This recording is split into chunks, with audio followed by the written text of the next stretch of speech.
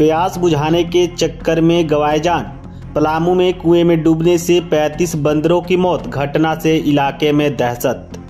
बड़ी खबर झारखंड के पलामू से है, जहाँ पांकी थाना क्षेत्र के सोरठ गाँव में रविवार को कुएँ से 35 से अधिक बंदरों का शव मिला है। ऐसी आशंका जताई जा रही है कि सभी बंदर प्यास बुझाने के लिए कुआँ में नीचे उतरे थे और उनकी मौत हो गई। शव मिलने के बाद पूरे इलाके में दहशत का माहौल है। जानकारी के अनुसार पांकी थाना क्षेत्र के सोरठ गाँव में रविवार की शाम कुछ चरवाहे जंगल में गए थे। इसी दौरान उन्हें कुछ दुर्गंध महसूस हुई। इसके बाद उन्होंने इधर उधर देखा तो पास में ही एक कुआँ से दुर्गंध आ रही थी। जब वे कुएँ के पास गया तो देखा कि अंदर पानी पर बंदरों के सौ पड़े थे। सभी बंदरों की मौत कब हुई, इसकी जानकारी किसी ग्रामीण को नहीं हुई है। वहीं स्थानीय ग्रामीणों के अनुसार यह घटना बुधवार या गुरुवार की हो सकती है। घटना के बाद वन विभाग के कर्मी मौके पर पहुंचकर सभी शव को कुएँ से निकाल और जाँच की जा रही है। बंदरों के शव का पोस्टमार्टम कराया जाएगा। इसके बाद जंगल में दफनाने का काम किया जाएगा।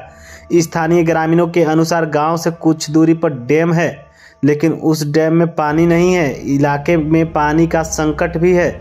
जिस कुएँ में बंदरों की मौत हुई है आपको बता दें कि भीषण गर्मी के कारण जंगल के लगभग सभी जल स्रोत सूख गए हैं। ऐसे में पानी के तलाश में जंगली जानवर लगातार इधर उधर भटक रहे हैं। यदि वन विभाग के द्वारा समय रहते वन्य प्राणियों के लिए विचरण क्षेत्र में पानी की व्यवस्था की गई होती तो शायद यह बड़ी घटना नहीं होती।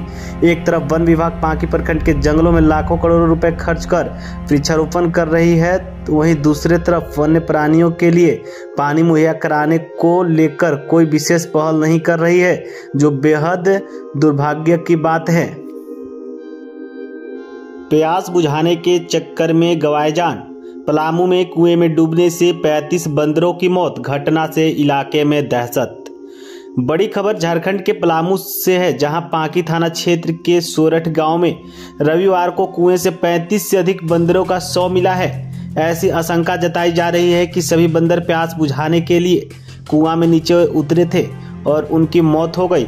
शव मिलने के बाद पूरे इलाके में दहशत का माहौल है। जानकारी के अनुसार पाकी थाना क्षेत्र के सोरठ गाँव में रविवार की शाम कुछ चरवाहे जंगल में गए थे। इसी दौरान उन्हें कुछ दुर्गंध महसूस हुई। इसके बाद उन्होंने इधर बायोम मेडिकल प्रिपरेशन का एकमात्र संस्थान जहाँ है complete digital classrooms, individual doubt counters video lectures student tracking system library facility 100% result oriented rankers batch study package and class notes in PDF Jharkhand के इतिहास में पहली बार नीट यूजी में 700 मार्क्स पार। टेंथ पास स्टूडेंट्स के लिए foundation course 10 जून से शुरू हो रहे हैं। Contact biome seven three six double zero double six one nine one